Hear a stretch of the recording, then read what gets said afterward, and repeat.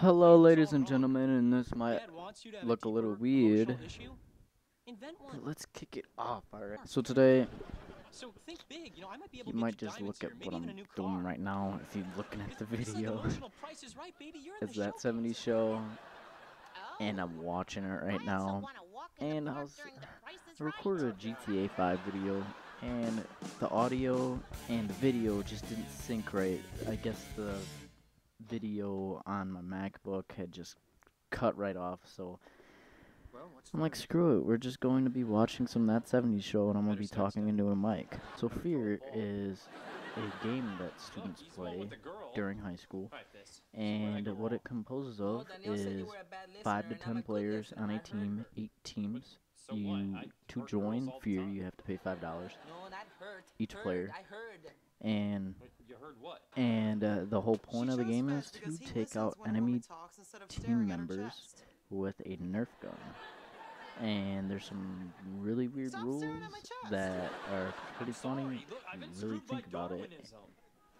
So if you think, there's just a whole bunch of people Yeah, sure playing with Nerf guns, say I had to catch my when they're in food, high school. right? But I only ate really but fast animals. you can't be My playing from evolve into rockets. the time of school and uh, any sporting events, stuff like that, whatever. and put it. I think you guys get the gist of it. But there is a rule I need your help. that if you play this game me. called Fear, about all the times that and let's say there's an enemy shooting at me, okay? There's just an enemy shooting at me. That's true. You have to throw me some And. I don't want to die, Alright, show a little so I can get naked, balls out, just like boom. But you have to promise not to use balls out. teacher on the nail to get her back. And if um if one of those bullets hit me when I'm naked, then it just doesn't count. here and pretend to be a So yeah, it's pretty crazy.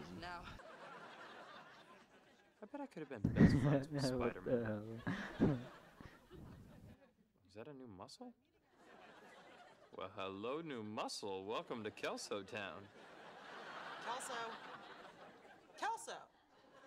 What? You weren't even listening. Alright guys, well How do you know? Because you were I just staring wanted at to the talk ceiling about with your fear. tongue hanging out. I will tell you the end results in a a few weeks talks, of how you have to Fear went and who eyes and won pretend her words are like and whatever just went them, down about it, alright? Breathe. This has been Passion guys. I'm gonna peace out of here. I don't care what she I've got a monkey to beat. Alright. I'll see y'all later. heck did you